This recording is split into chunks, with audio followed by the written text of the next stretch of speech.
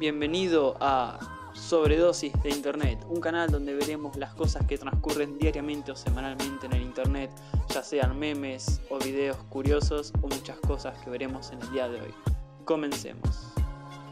En este video vemos cómo al golpear tuberías se hace un gran sonido. En este video nos encontramos con un hombre que con tan solo tomar un gran respiro logró no sumergirse 10 ni 20 metros, sino 30. Y no solo eso, sino que después pudo subir nuevamente a la superficie. Sin duda, una gran capacidad pulmonar para poder resistir tal tiempo bajo el agua. Esto es increíble.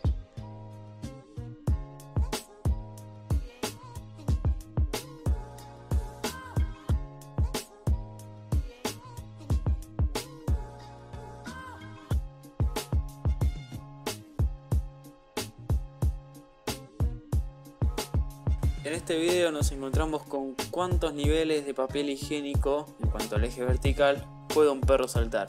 En este caso vemos cómo pasa nivel 3, nivel 4 y ahora veremos hasta cuál nivel puede este perro llegar.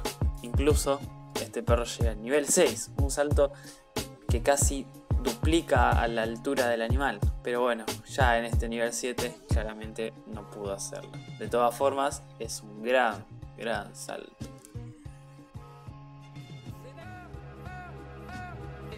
En este video nos encontramos con la bajante que tuvo el río Paraná, un río que se extiende por más de 4.500 kilómetros y un río en el cual al ver esta bajante fue algo espectacular, porque es algo que rara vez pasa y encima fue una bajada muy inusual. Sin embargo, es algo que sucede muy poco.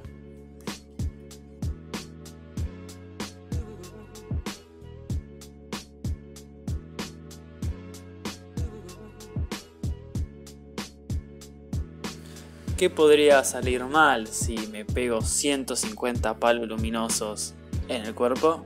Pues lo veremos a continuación.